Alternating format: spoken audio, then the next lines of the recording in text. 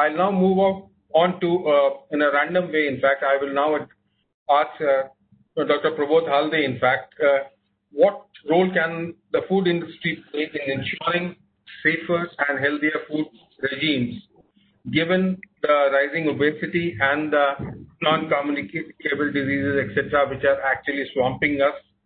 Will the removal of partially hydrogenated oils help consumers from an industry perspective, Dr. Halde? Thank you, Mr. Asim. And First, I would like to thank the organizer, which is CIFS and Consumer Voice, for inviting me here. First, would like to say Happy World Food Day 2020. I think on this day, I congratulate the organizer for bringing such a important topic. Before me, the panelist, Dr. Jagmeet, has set the tone. The question which is being asked to me is that how Indian food industry is equipped and what are the plans. Aseem ji, as you are aware, India consumes around 8% processed food product. That means 92% of the food product which India consumes is in semi-processed or in the loose form. Yes, Indian food industry, which is a standard companies, those who are in organized sector, unfortunately, Indian food industry contributes only 25% as an organized sector.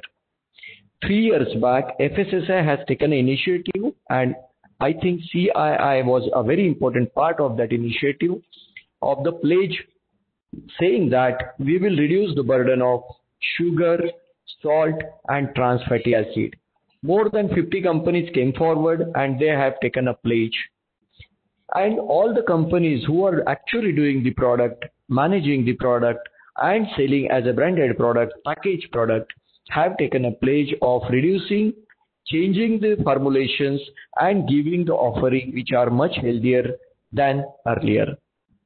So, in fact, we have also worked with CII and they came out with the superb uh, workshop and the training for the formulators how to change a formulas without getting a taste impact and it was very well accepted by the industry.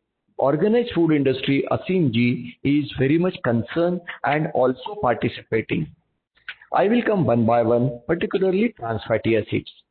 Now on the hydrogenated fat, what you have raised, if you see the total consumption of the oils and fat in India is closely 2,40,000 metric ton. That is a total oil and fat consumption in India. Because of the COVID and less of import, the last year vis-a-vis -vis this year, we have consumed less of 10 lakhs metric ton. So this year our consumption has reduced by closely 4 to 5%, which translate to 10 lakhs metric ton. But if you see, in last 10 years, vegetable fat industry is stagnated to production of 7 to 8 lakhs metric ton. What I am trying to say that Indian consumers are wise. We are moving away from the vanaspati consumption and to be specific, 2008 to 2020, the vanaspati production, I am talking about the production level in India because there is no import of the vanaspati, has reduced. So the worry of actually trans fat going into the food has stagnated or reduced because the population is increasing. Yes, what Jagmeet Madam ma'am has said, eating habit of the Indian Indian people have changed. We are consuming a lot of fried items and doing less exercise and overall consumption has increased. Awareness is important. As far as the products are concerned, Vanaspati production has stagnated. It is a positive part.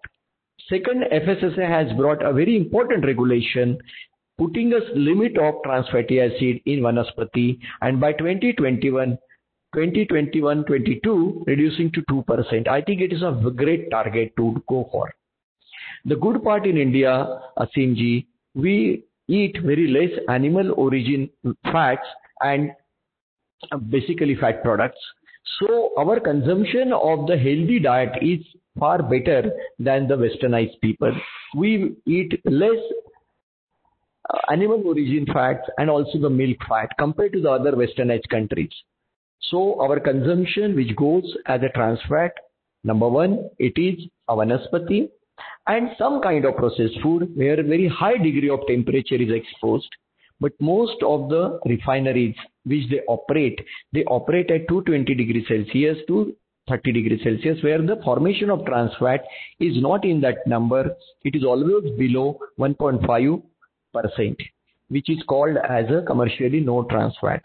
So Asimji, in short to summarize, various companies are sensitized. Indian industry is also understood that health is the wealth and if you do not change, people will change you, people will not buy your product. So organized industry has taken appeal. Now what we need to do focus a small player, medium sized player and unorganized industry, a halwai wala, where they keep trying the things continuously. So FSSAI has brought a very good system of counting the TPC. I think as an industry, as a corporate responsibility, we need to make them also aware because 60% of the consumption of the day, Indian sweets are coming from the halwai wala. We need to focus that sector. We need to focus bakery sector.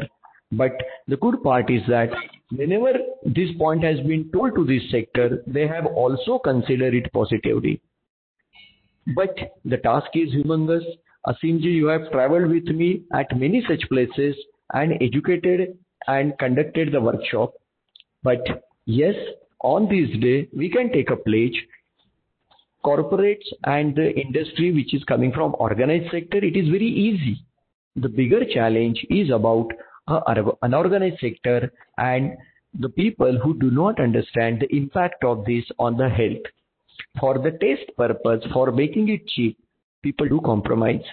But awareness and proper propagation and knowledge will definitely we will able to target. I congratulate FSSAI for bringing time to time a right kind of regulation to arrest such kind of intervention. So with this, I stop my opening remark and we will, I will get back whenever being asked any specific question. Thank you, Asimji. Thank you, Prabodhji, uh, for uh, dropping in uh, two very important points about the draft regulations and uh, about the SME sector uh, uh, probably defaulting on uh, this particular front in terms of adherence to standards. Uh, so this leads me to my uh, next speaker, in fact, and that is uh, from the regulator FSSAI, Dr. Rubina Shaheen. I believe, uh, Rubina, you have a presentation. Uh, will that presentation be done now, or can I take up the first question and thereafter we can have the presentation from you? Sure, you can have. Okay, so first I'll ask you a basic question, which is commonly asked to you, and I'm quite sure uh, this is a very important factor for all of us, whether in the industry or, in industry as a consumer. And that is uh, neither of the two graphs of uh, 3% or 2%. I'm using percentage just as a easy uh, I mean, uh, denomination for understanding of all participants, in fact, have not been notified. So therefore, does FSSAI have the capacity to implement both uh, the within the timeline and to also ensure that uh, and food regulations are brought into uh, the sphere soon to complete the food cycle, which I mean is 2%, 3%, uh, then 2%, 21, 22, and then you have basically a timeline for bringing in and food also in the chapter. Do you think FSSAI uh, is within the timelines? Uh, yeah, sure. We are. That since the regulation is already draft notified and it's in the final stages that with the uh, Ministry for Medicine, I think I. Your voice is your voice is uh, breaking a little. Yeah, yeah. Fine? Slightly better. Slightly better. Yes. So, since our regulation is already in the final stages of notification and vetted by ministry, so it will be out by uh, within a month. And uh, so, uh, uh, so regulations which are regarding the limits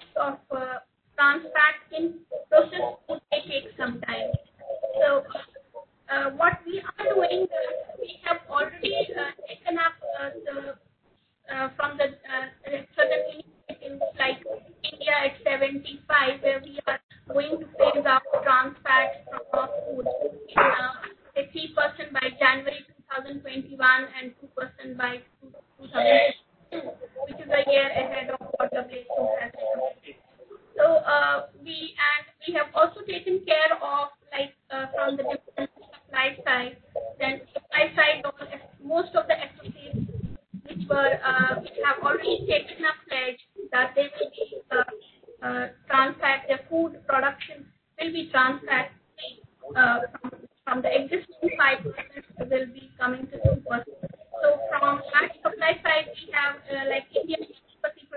Association and Solvent Extract Association and Vanaspati Manufacturer Association of India who have taken a voluntary pledge. So uh, they, this will also help us in achieving our target earlier, like by 2020. So, uh, most of our stakeholders will be the primary checks, where if they, their, their production will have to, will uh, abide by the limits. Similarly, it will go down, uh, percolate down to the unorganized sector as well. Thank you, Dr. Rubina, for uh, the precise answer to this particular thing. So we have some more time to wait for uh, to see the regulations uh, come into the uh, frame.